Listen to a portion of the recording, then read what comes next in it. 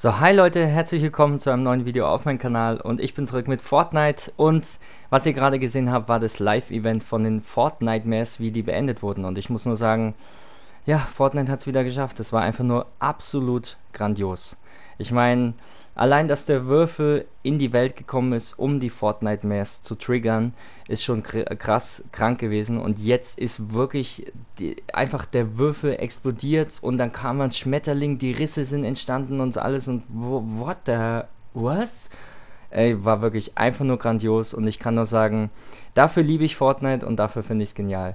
Ich hoffe, ihr wart auch dabei. Ich habe es live gesehen, ich habe es aufgenommen, ihr habt es gesehen. Es war wirklich grandios und wir können jetzt nur gespannt sein, was ist wohl passiert? Was wird das triggern?